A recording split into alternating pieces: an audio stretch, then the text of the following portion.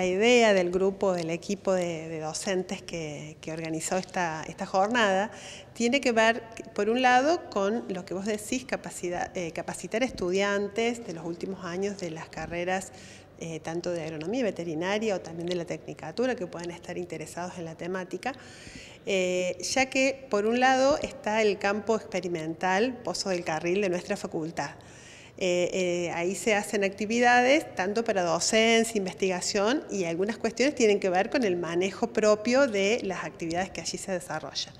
Entonces, esto de hacer silo de maíz tiene una doble función. Por un lado, lo que tiene que ver con la docencia, y por otro lado con lo que tiene que ver con el manejo de las actividades, por ejemplo, eh, la alimentación, hacer reservas para alimentar a bovinos que se están, este, bueno, una actividad que se desarrolla allí. Entonces tiene como una doble función, por un lado lo que tiene que ver con la docencia y por otro lado también eh, el manejo propio de lo que es el campo experimental Pozo del Carril. Entonces se van a hacer dos partes de esta actividad, una parte más teórica donde se van a rescatar conocimientos que los estudiantes seguramente ya han tenido en algunas de las materias que han cursado, se van a refrescar, se van a integrar y por otro lado se va a hacer una segunda parte práctica en el eh, campo Pozo del Carril en el momento que se esté haciendo la actividad de ensilado que sería en estos próximos días.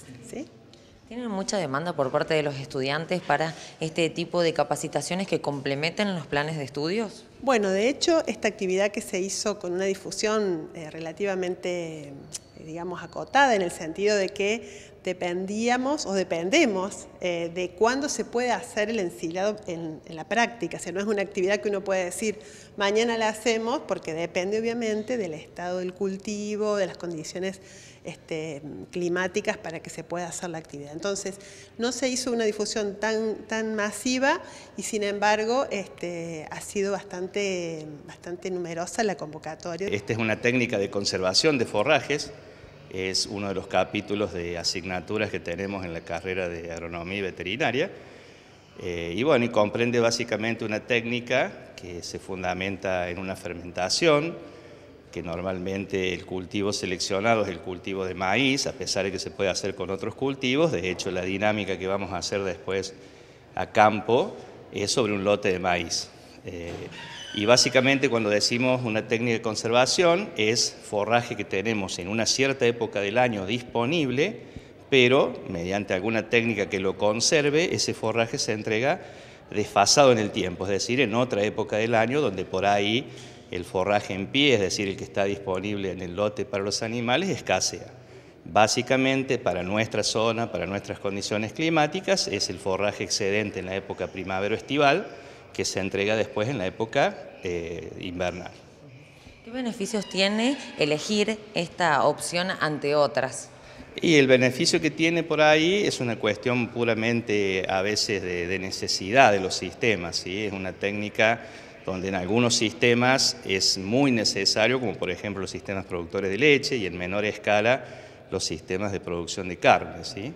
Por eso es que a veces, eh, y, la, y también otra de las ventajas que se puede hacer con algún tipo de excedente de la cadena forrajera ya existente en el establecimiento, o sea que por ahí no es un alimento que se trae desde afuera del sistema, sino que se produce en el mismo sistema. El ensilado es una técnica muy utilizada en los campos de la región, en los establecimientos y estancias. Es por eso que es importante la actualización profesional de los jóvenes que en este caso no terminaron su carrera, pero obviamente ya quieren ir experimentando lo que es una salida profesional. Sí, sí, seguro. En cualquier sistema de producción base pastoril, con una determinada, eh, digamos, eh, calidad del alimento que demanda, o sea, porque en realidad es un alimento de muy buen valor nutritivo en cuanto a lo que es energía sobre todo, sí, sí, es una necesidad en muchos sistemas. Los sistemas de leche hoy por hoy, en cualquier sistema de producción lechera vas a encontrar este tipo de alimentación y como les decía recién, ya también en muchos sistemas de producción de carne, ¿no? Por eso es que es una técnica muy usada eh, en la región centro-sur de Córdoba, que es un poco el área de influencia de nuestra universidad, y que, bueno, y que es de suma necesidad para cualquier técnico, agrónomo, veterinario que vaya de alguna manera a intervenir en algún tipo de estos sistemas de producción animal base pastoril.